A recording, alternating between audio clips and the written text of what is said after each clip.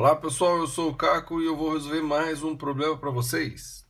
Diz assim: o móvel A, esse aqui, de massa 8 kg, atinge uma mola cuja constante elástica é K igual a 2 vezes 10 ao quadrado newton por metro e produz nela uma deformação de 10 centímetros. Então ela vem.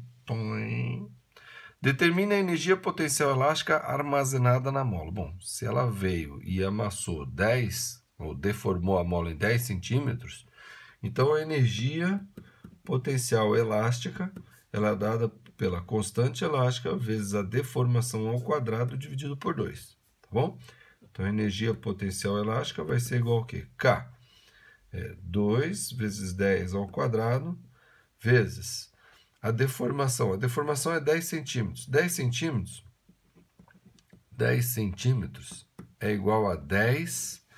O C do centímetro significa centésimos. 10 centésimos do metro. Então, você corta aqui, corta aqui, você tem 1 sobre 10. 1 sobre 10 ao quadrado é, é vou colocar aqui, ó, 1 sobre 10 ao quadrado, tá? E tudo dividido por 2, então 2 eu vou colocar aqui, ó, tá? Porque isso aqui eu posso tudo separar, né? K sobre 2 vezes x ao quadrado. Então, K sobre 2 vezes x ao quadrado. x é 1 sobre 10 ao quadrado. Bom, então a energia potencial elástica vai ser o quê? 2 dividido por 2 dá 1, tá? Aí aqui 1 sobre 10 ao quadrado vai dar 1 ao quadrado dá 1, 10 ao quadrado, 10 ao quadrado, que vai simplificar com aquele 10 ao quadrado. Então, esse 10 aqui, né, que está ao quadrado, vai simplificar com esse aqui, vai dar 1. Então, a energia potencial elástica é 1 joule, tá? O 1 joule, ele é dado por quê? Porque todas as unidades estão no sistema internacional. Newton, metro, tá? É, a deformação eu coloquei em metro, não posso colocar em centímetro, tá bom? E é o que a, é, o Sistema Internacional de Unidades diz, né? Bom, foi estabelecido. B. A velocidade do móvel A no instante em que ele atingiu a mola. Observação: o sistema é conservativo, ou seja, toda a energia cinética que o, o bloco tinha quando chegou, né? O bloco chegou com uma energia cinética, essa energia cinética se transformou totalmente em energia potencial elástica. Eu já sei que a energia potencial elástica é um joule.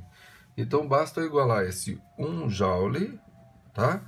ao a energia é, cinética no início. Energia cinética é o que? Massa vezes a velocidade ao quadrado dividido por 2, tá bom? Então vai ficar assim, ó.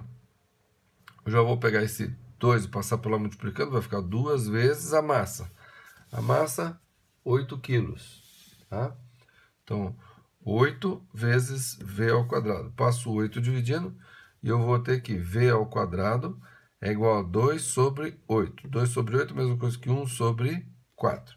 Então, v vai ser igual a raiz quadrada de 1 sobre 4. Ou seja, 1 sobre 2. Tá bom?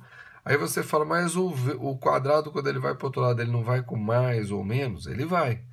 Ah, então, daí considera o quê? Bom, se você considerar que para lá é positivo, então ele está vindo para cá é negativo, tá? Mas o problema não, não parece que não está muito se importando com essa questão de que se é positivo ou negativo. Ele provavelmente queira saber o módulo, a intensidade da velocidade. Então a gente simplesmente ignora o sinal e a velocidade é meio metros por segundo, tá? Metros por segundo porque está no sistema internacional. Tá? Se, é, o joule, né? Joule dividido por, pela massa, tá? Dá, vai dar o que? Vai dar é, energia é força vezes o deslocamento. Então, joule dividido por massa é, vai dar aceleração pelo deslocamento. Né? Não é isso? Não, não é deslocamento, isso aqui é aquilo, né? Bom, certo, pessoal? Vamos fazer aqui, ó. Para esclarecer bem a, as unidades, tá? Energia vai ser igual a, a massa vezes velocidade ao quadrado. A energia, ela pode ser definida é, pela definição, as unidades podem ser definidas pela definição do trabalho, né? Que é força vezes deslocamento. Isso aqui é massa vezes velocidade ao quadrado. Bom, força é massa vezes aceleração. Então, massa vezes aceleração vezes o deslocamento. Isso vai ser o que? Massa vezes velocidade ao quadrado. Quando você corta a massa, fica aceleração vezes deslocamento. Qual que é a unidade da aceleração? É metros por segundo ao quadrado, vezes metro. Então, isso aqui ficou o quê? Metro ao quadrado sobre segundo ao quadrado, que é metros por segundo ao quadrado. Tá vendo? Então, por isso que a velocidade sai certinho em metros por segundo, ok? Então é isso aí.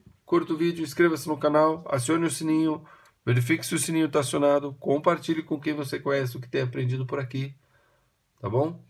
É, segue a playlist aqui, vamos que vamos e até a próxima.